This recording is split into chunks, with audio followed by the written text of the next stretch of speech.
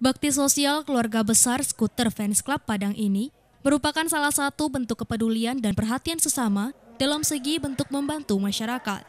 Dalam kegiatan bakti sosial donor darah dan kitanan masal ini, dilakukan merupakan bentuk kepedulian komunitas Skuter Fans Club Padang kepada masyarakat.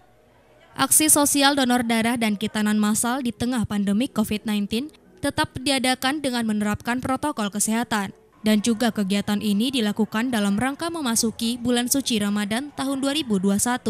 Dengan adanya bakti sosial donor darah dan kitanan massal yang dilakukan, dapat membantu beban masyarakat, khususnya bagi orang tua, terutama yang mempunyai anak laki-laki yang diberikan kitanan massal gratis.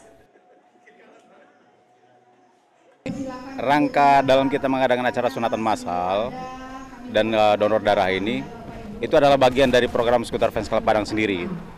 Dan ini alhamdulillah kita juga memasuki bulan Ramadan. Nah, makanya kita adakan dengan judul brandnya nanti Vespa Hala.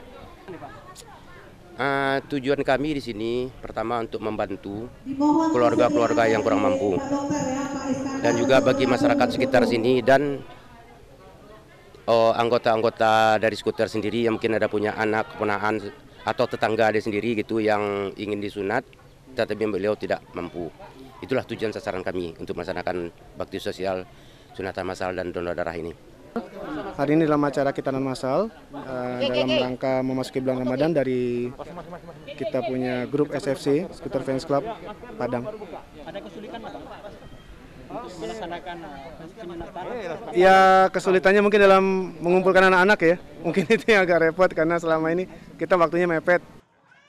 Dari Padang, Sumatera Barat, Budi Chandra iNews melaporkan. Jamaah Tarekat Naksabandiah gelar sholat taraweh. Beritanya kami hadirkan saat lagi, tetaplah di iNews Sumatera Barat.